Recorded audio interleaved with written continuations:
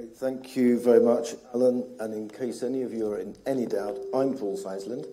Um, and uh, we're going to do a double act. And and I'm Leah Reinfranck, and I'm a nature finance intern. Yeah, we're going to talk all things nature finance today. So answer all your questions.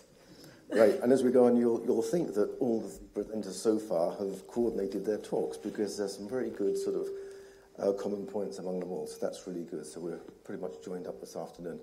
Um, I should just say that um, our overall work on nature finance is generously supported by uh, the Esme Fairbairn Foundation, the Missing Salmon Alliance, the Golden Bottle Trust, and the Rivers Trust. And uh, we'll cover any additional project-specific um, funding uh, support as we, as we go on. So ahead of COP15, so another COP for you, not COP26, COP15 in 2022, uh, the Economics of Biodiversity was published, uh, commissioned by the UK government and authored by Professor Dasgupta. And quoting uh, Dasgupta, he said that our economies, livelihoods, and well-being all depend on our most precious asset, nature. And nature is our home. Good economics demands we manage it better. And just to summarize the 610 pages of the review so that you don't have to, basically, if we value nature, we should pay for nature. And of course, that's through nature finance, which we have been teed up to talk about. Um, so government, financial and corporate institutions are working on legislation, policies and strategies to enable this to happen. Albeit slowly, but thankfully, the penny, and we need a lot more than just pennies, is beginning to drop. Uh, and, and Fisheries Management Scotland is working with our funders, partners, agencies and government to stimulate the flow of nature finance and support our members to fund action that will improve the ecological status of our rivers. And it's a very dynamic space and it involves many stakeholders. So closer to home, the Scottish Biodiversity Strategy commits to develop an investment plan as part of the delivery framework to mobilise public, private and philanthropic finance and as we've heard, the Wild Salmon Strategy Implementation Plan further elaborates this for securing investments in Scotland's rivers, in line with Scottish Government's commitments to develop a high integrity values led market for responsible investment in natural capital. Fisheries Management Scotland and our members are making use of innovative funding uh, to support nature market creation through the FIRNS programme. We heard the Minister speak about that a bit earlier. And it's also great to note that some of our members have also secured other sources of major funding from corporate contributors to advance regional projects as well. And that includes, as we've heard already uh, from Wendy, the River Within programme, which is supported by the Shivas Brothers Whisky, and you know they're partnering with three neighbouring river trusts um, not a million miles from here, and Elle and Guy, I believe, might touch on that um, a bit later um, this afternoon. But these are all indicators um, that uh, nature finance has a future, and I'll touch on FIRNS again in a few seconds. And following Sean, um, we now have some extremely useful fishery management plans with costed actions, and I'll build on what Sean has said earlier. And it's great um, that we're being more and more ambitious for our rivers. So briefly then, on the FIRNS work that we've been leading on, and FIRNS is funded by Nature NatureScot and the National Lottery Heritage Fund, Lottery Heritage Fund.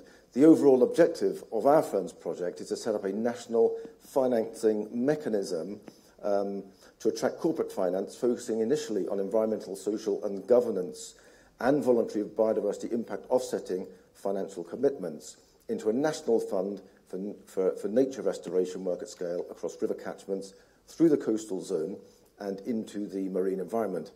And we're building on the successful Scottish Marine Environment Enhancement Fund uh, to recommend options to create a similar or combined fund to target investment into river catchment restoration work.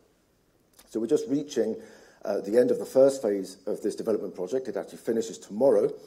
Um, and ultimately, the fund would be available for our members, for you, to bid into to support locally prioritised river restoration actions to benefit fisheries their management and people from source to sea. Okay, some of you will be familiar with this model. Um, it's from the Green Finance Institute, and it represents the, um, their investment readiness toolkit, or so called snake diagram, and it's a model that we've been using uh, for nature market development. And starting at the left end, it guides project developers in stages on how to develop a nature finance project. And as you might expect, with any market creation, there are a number of dependencies, a number of actors, and a number of steps to fulfill to get to a new market, and this is no different. Through the FIRNS project, as just explained, we've been concentrating on developing the financing mechanism, including the governance, the funding model, and working with investors. But now we need to look towards the identification and elaboration of what needs to be funded and how. So, moving to the project supply side, I'm going to pass you to Leah, um, who will talk about people and community and the project beneficiary side of projects. So, Leah, over to you. Thanks, Paul. Um, so, I'm at the tail end of a three month internship, and so in that internship, I kind of I, I, had a complementary project to what other external consultants were looking at in terms of Source to Sea. So I was supporting Paul and the steering group in uh, helping that that project get to the the end uh, where it ends tomorrow. And so um, for my project, I specifically looked at how community benefits and inclusion could be incorporated into the funding mechanism. And that's important because if we want to realize a just transition and facilitate and improve human nature connections and human human connections, this is a great place to, um, to make sure that we're considering when, we, when we're scaling up these restoration projects. And so, to answer this question, I, I did a literature review and then also a series of interviews. Some of you in the room were part of that group, so I really thank you for the time you took to speak with me. It was really, really helpful.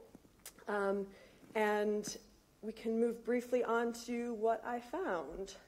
Um, so I did 11 interviews in total, and the focus was on freshwater and marine restoration projects, those who had been involved in those types of projects in the past or who had been involved in community led organizations who had been involved in those because those are the types of projects, as Paul mentioned, that would be supported by Source C. And so um, within those, I, I do want to mention that community is not a, it's a subjective term. It is very complex and it's quite difficult to sometimes talk about this because it depends on the context, right? Like, are we talking about communities of interest? Are we talking about geographical communities? Even within those groups, there can be a lot of heterogeneity within that. And so it can be quite complex to figure out are we consulting? Are we, are we co designing? Kind of, kind of how that works. And there's a lot of different options out there. But regardless, I talked to some people about, you know, what's worked in the past, what benefits have you seen come from past restoration? And then also equally important, what disbenefits have come. You know, on, on project reports, you often don't see what maybe went went not so well. And so I think that's important. That was important to me to understand, to see how the fund ultimately could help mitigate those or just be more aware of them. Um, and so, yeah, have some benefits and disbenefits. I do want to point out that there's a difference between some of the benefits that were, that were mentioned. So I'm categorizing them as one way, reciprocal, and legacy. And one way is you actually don't need the communities to provide those benefits. So it's something like ecosystem services. So by doing a project, you could provide flood mitigation, but then there's other benefits that you actually need to engage the community with in order to provide. And then, of course, there are challenges with this, you know, funding, staffing, um, time it takes to build trust, existing funding timescales, and so that, that varied greatly based on geographic lo- location and also community characteristics. But I did want to mention that. And so ultimately, what I produced for my internship is a report which had recommendations to the Source to Sea steering group uh, to things to consider again with communities in mind.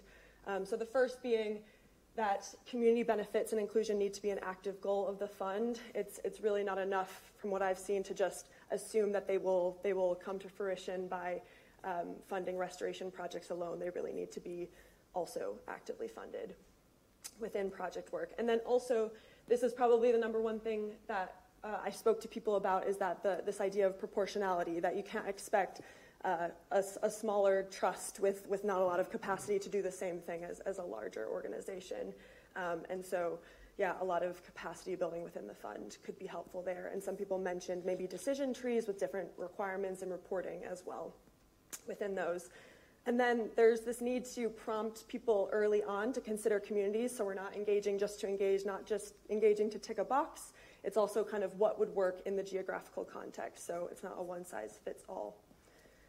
And then, as we spoke about today, kind of like a more holistic effort, the fund could play a role in connecting similar projects or projects that are doing maybe different things but in the same geographical area uh, to learn from each other, both from an ecological point of view but also community engagement and benefits. And then finally, there's a need. So we do sometimes with communities, we say number of volunteers and you know number of events held, but sometimes that doesn't fully encapsulate what what the benefit was or what happened. So. Uh, looking beyond just the quantitative and the monetary with communities in mind to look at how we can see impact in other ways. So I'm going to hand it back to Paul to wrap us up.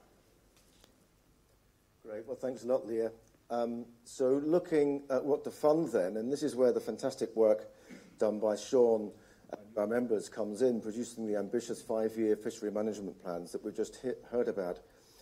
Over the coming year, um, we're looking forwards to working with our members and understand the, the detail of these plans, understand these plans a bit better, to develop a portfolio of ready-to-go projects by theme, geographic cluster, and to align with the fund development work that I've already described, but also um, to market for larger scale opportunity where more significant investment might be possible with institutional investors.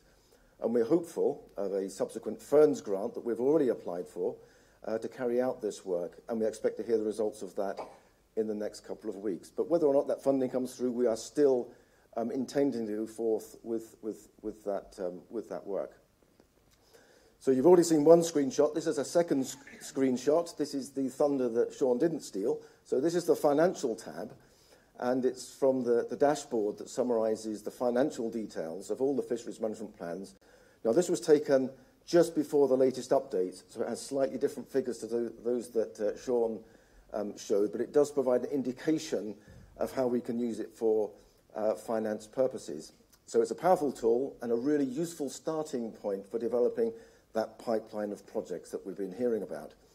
Importantly, it demonstrates that we're a joined up sector.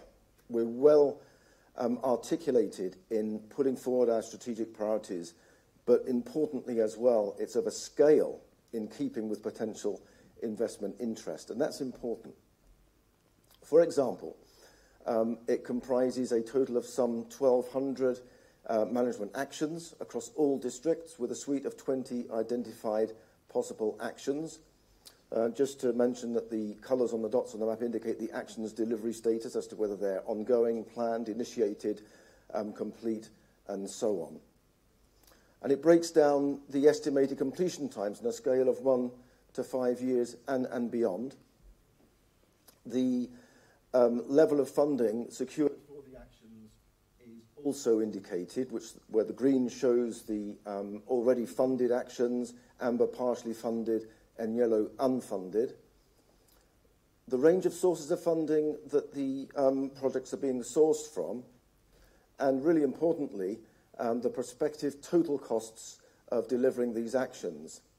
Now, these figures that I'm showing you now um, are true at the end of last week, but since Sean has updated the latest figures, and they are launched today, as he has said, the total capital costs, so that's the top left figure in the bottom right of the diagram here, um, are now around 200 million pounds, with annual recurrent costs um, of uh, just over 4 million pounds, and altogether a total shortfall of some 250 million. So it's a big ask, um, but a sound bottom-up basis to begin hardening up on a potential pipeline of investable projects with, um, with the amounts that um, they, they will cost. And it's one that we'll be working on um, to address with the boards and trusts, as already mentioned, as we go forwards. So whilst we're working hard on a range of fronts on the development of nature markets for river catchments, there's plenty more to do. We know the money's there, um, and as you have seen, we know the supply is there, the supply of projects. Working together, we need to get that pipeline established and met with appropriate finance, uh, nature finance. So let's not slow down let's keep being ambitious for our rivers. Thanks.